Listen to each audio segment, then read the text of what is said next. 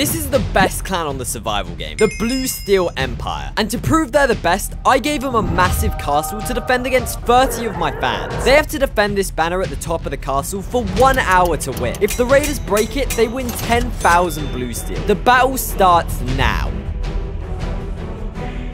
The raiders started setting up on an island in front of the castle. At first, they were really struggling to breach the castle walls. TBE were doing a good job of keeping them back. Oh yeah, by the way, TBE is short for the Blue Steel Empire. Even though the raiders were outmatched, they kept coming anyway. By the way, guys, if this helps, the ones with the blue capes are from TBE.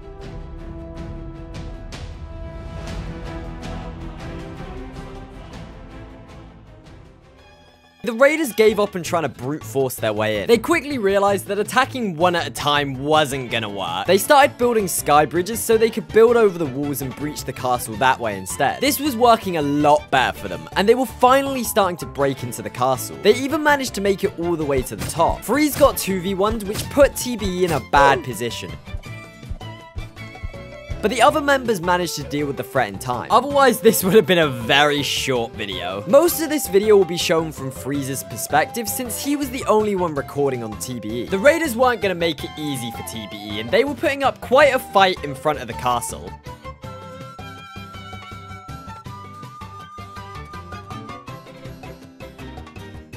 The Raiders had made a decent chunk of progress into the castle, but the defenders weren't going to give up that easily. It's probably time I show you guys the layout of the castle. As you can see, there's basically three levels to the castle. Level 1 is a deadly maze you have to go through. Level 2 is the throne room. And level 3 is where the banner is, surrounded by walls. If the Raiders want to win, they need to destroy all of them. TBE started fighting back against the Raiders and slowed their progress down a lot by destroying their bridges with ballistas. Right now, the Raiders weren't attacking in an organized fashion, so TBE could pick them off in small groups. This made dealing with 30 players a lot easier for them. As I say that, Freeze is literally in a 2v1. By the way, I've just got to say, that 2v1 was so clutch.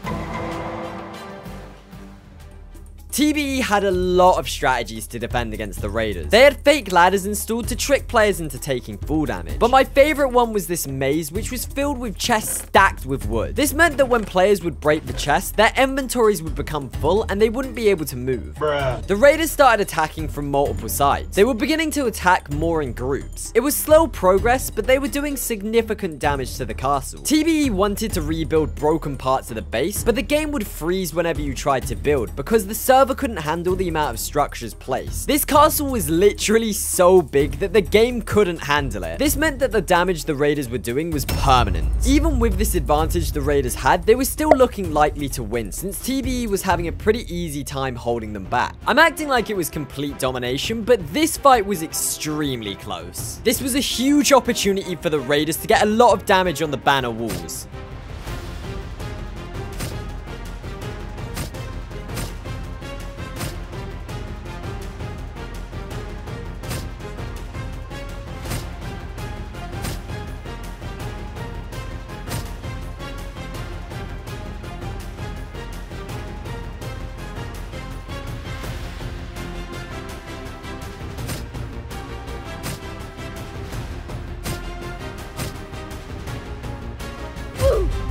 You might be wondering how Freeze could lose a fight against a random player. Well, that's because a lot of these guys weren't just random players. A lot of them were in TBE. I guess they also just happened to be fans of me as well. Even though they were literally having to fight their own members, TBE was still holding up pretty well. The Raiders had built a mini base to protect their ladder bridge. No matter how many times TBE broke it with ballistas, the Raiders just kept building it back up. Even though it was protected, Freeze decided to raid this base and destroy it anyway. I did tell TBE that I didn't want them to hunt down the Raiders because it would be a boring video if they did that. But if it's just outside the castle, then it's fine.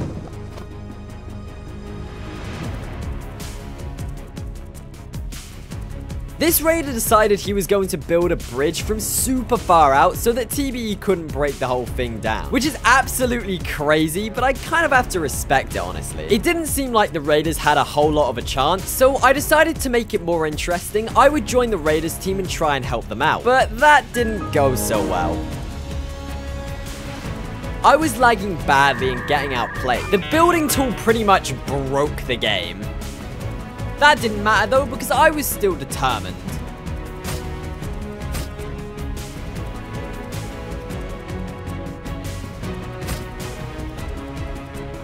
Oh my god. That wall is glitched. As if the Raiders weren't losing bad enough, now even the walls are out to get us. I had to start using blue steel armor since the Obsidian update had just come out, and I was already running out of materials. Things were starting to look hopeless for the Raiders. TBE didn't have that many deaths, so they didn't have to worry about running out of resources. But the Raiders were quickly running out of materials for armors and weapons. If things continued like this, then TBE would win the war of attrition. I don't know if I'm saying that word right. I am gonna go with it. They had 20 minutes left, and if they wanted to win, something had to change. A lone naked man was just not gonna cut it. I kept throwing myself at the walls anyway with no regard for my life at all. If the Raiders were gonna have a chance at winning, it was gonna be through pure brute force. There was a positive though. Even though the Raiders weren't able to beat TBE in combat, they could keep respawning and throwing themselves at the castle, basically sacrificing their lives to do a bit of damage to the castle each time. And it was working. The castle was becoming extremely damaged. Remember guys, this is what it looked like at the start. This wasn't the end of the Raiders' troubles though, since random players started going rogue and started sabotaging the Raiders. Now it wasn't just TBE they had to worry about. These guys weren't as hard to handle though, as they were nowhere near as good as TBE in combat. If you want me to be able to stop stuff like this from happening in the future, then make sure to subscribe, because I need to get to 100,000 subscribers to get admin on this game, which would make videos like this so much easier and better to make. Anyway, back to the raid. The Raiders managed to find this storage room with a bunch of blue steel loot and gear. It was originally meant for the defenders to use, but since the update came out, blue steel pretty much became useless, so they didn't use it anyway, so at least someone gets to use it. This gave them everything they needed for one final push. TBE were holding their ground, but the Raiders just kept coming. TBE were doing a great job of holding the Raiders back, and they were so close to winning as well. But unfortunately, Eventually, the walls under the banner broke. The banner was gone. The Raiders had won the event in the nick of time.